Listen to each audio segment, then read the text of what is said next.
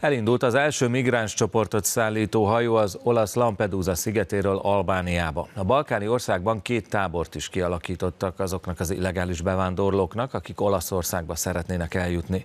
A migránsok menedékkérelmét így mostantól az Európai Unió területén kívül bírálják el, és csak azokat engedik be a tagállamokba, akiket már ellenőriztek. Giorgia Meloni olasz kormányfő azt mondta, Olaszország példát mutat az illegális bevándorlással szembeni fellépésben. Egymás után húzzák partra a csónakjaikat a szenegáli halászok minden nap nyugtakor, de rendszeresen akad olyan hajó, amelyik nem tér vissza, mert hosszabb útra indul. Ezekkel ugyanis tömegesen vágnak neki az Atlanti-óceánnak a migránsok. A nyugat-afrikai országból sokan a kontinensről mintegy ezer kilométerre fekvő Kanári-szigetekre próbálnak eljutni. Idén már több mint 30 ezeren érték el a spanyol autonóm területet, több mint kétszer annyian, mint tavaly ugyanebben az időszakban. Ha ez így megy tovább, egyre többen fognak meghalni. A helyiek körében is egyre több lesz a feszültség és az aggodalom, mondta a régió elnöke.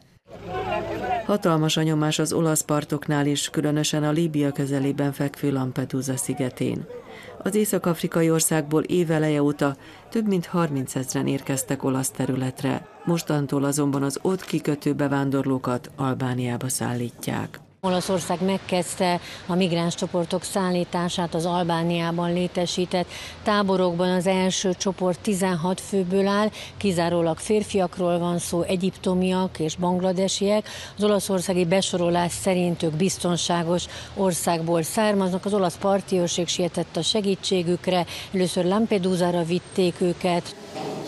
Olaszország Albániában két helyen is befogadó központot alakított ki a migránsoknak, ahol benyújthatják a menedékkérelmüket és megvárhatják az elpirálást.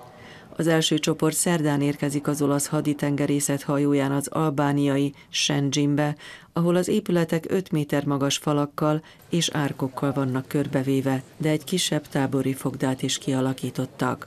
Az olasz kormányfő kedden a római szenátusban azt mondta, büszke arra, hogy Olaszország példát mutat az illegális bevándorlással szembeni fellépésben.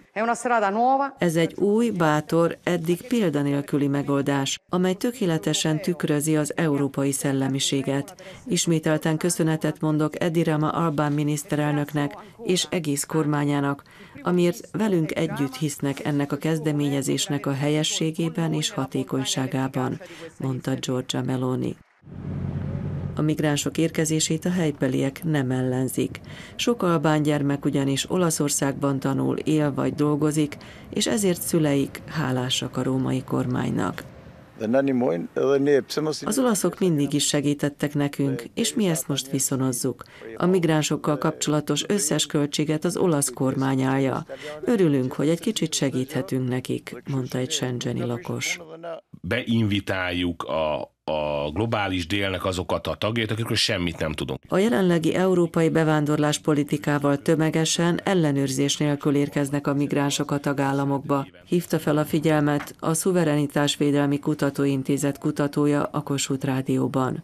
Somkoti Bálint szerint az olasz-albán megállapodás egyik legnagyobb előnye, hogy a migránsok menedékkérelmét még az Európai Unión kívül elbírálják. Sikerült az olasz kormányzatnak egy olyan megoldást találnia, amely kis lazasággal, de belefér a nemzetközi jog és az Európai Uniós elvárások keretébe is, viszont azokat az olasz szempontokat is figyelembe veszi, hogy azoknak, akinek nem bírálják el pozitívan a, a kérelmét, azok már nem Olaszország területén vannak, tehát nem kell őket kitoloncolni fizikailag.